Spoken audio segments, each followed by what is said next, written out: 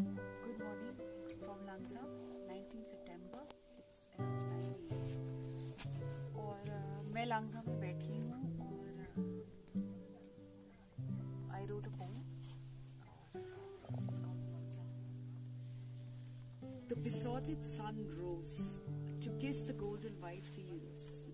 The chirping of birds, mixed with sound of occasional car, reminds me of life I always the gusto of wind shakes the grass from slumber. Men and women working in fields and prayer flags fluttering in far off corner. Gautama the Buddha watches all as we live our lives. He reminds us to be aware and alive. There is no mind, no clutter, just the sweetness of approaching winter.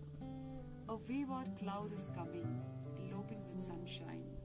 Live till it lasts, for there is no forever. As Shelley said, if winter comes, can spring be far behind?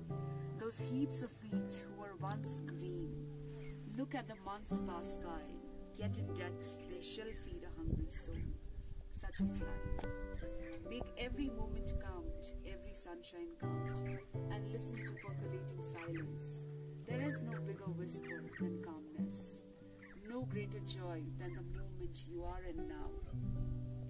With sun caressing your wet hair and warming up your old bones, say thank you, Langza, for being home away from.